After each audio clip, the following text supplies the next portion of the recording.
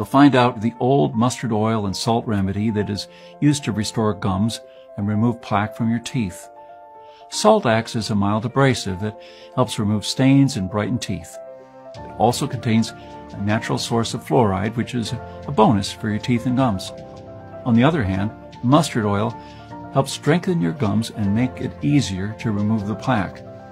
So instead of spending a fortune on dental implants, why not use this method and others to preserve and strengthen your gums and teeth?